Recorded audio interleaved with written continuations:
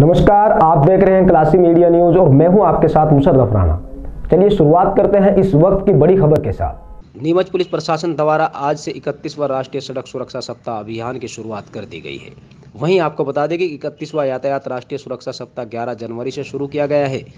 जिसके तहत इस पूरे सप्ताह यातायात पुलिस द्वारा वाहन चालकों और शहर के आम जनता को यातायात नियमों के तरीके समझाए जाएँगे। और जैसे किसी को नाखूना है अदर कोई प्रॉब्लम है किसी को तो उसको अपन रेफ़र करके उसका उस प्रॉब्लम का भी सोल्यूशन कर सकते हैं। यहाँ पे रजिस्ट्रेशन पूरा निःशुल्क है उनका पूरा चेकअप अपन कर रहे हैं चश्मे का नंबर अपन उनको दे रहे हैं पेशेंट अपनी इच्छा से बनवा सकता है जिनको मेडिसिन की ज़रूरत है उनको मेडिसिन देते हैं और जिनको कैटरक अगर सजेस्टेड होता है जिनको कैटरक लग रहा है तो अपन उनको कैटरक निःशुल्क उनका ऑपरेशन करते हैं।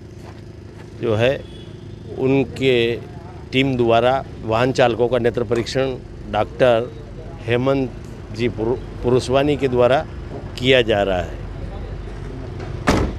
जिन व्यक्तियों को, जिन वाहन चालकों को आँखों की कोई बीमारी, मोतियाबिंद या अन्य किसी भी प्रकार की बीमारी पाई जाएगी, उनको इलाज के लिए उचित सलाह दी जाएगी। यदि